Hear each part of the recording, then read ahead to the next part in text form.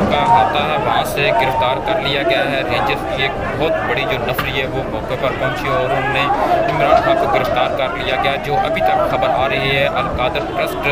کے حوالے سے جو نیب نے یکم مئی سے عمران خان کے ورنٹ گرفتاری جاری کیے تھے وہ ورنٹ بھی ان کے پاس تھے لیکن ہم آپ کو وہ تمام مناظر دکھاتے ہیں کہ عمران خان کو کس طرح گرفتار کیا گیا مراد سعید کا جو ٹویٹ ہے اس نے یہ بھی ٹویٹ کیا کہ عمران خان کو تشدد کا نشانہ بھی بنایا ہے اور تشدد کا نشانہ بنانے کے بعد جو ہے عمران خان کو جو رینجر کی بھاری نفری ہے، وہ جو وہاں سے لے کر نکل گئی ہے اور اس کے ساتھ ساتھ پولیس اور وکلا کے درمیان ہاتھا پائی بھی ہوئی ہے، لیکن